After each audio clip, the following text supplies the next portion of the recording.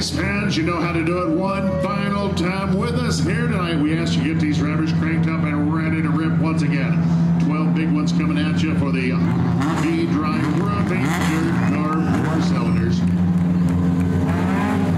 This season has been all Jeffrey DeLonjay looking to go into double digits with consecutive